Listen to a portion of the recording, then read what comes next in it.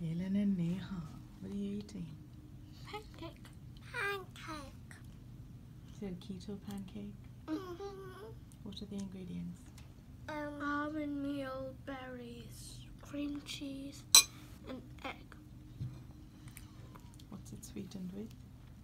stevia. How does it taste? Awesome. Are you excited to be getting this yummy breakfast food today?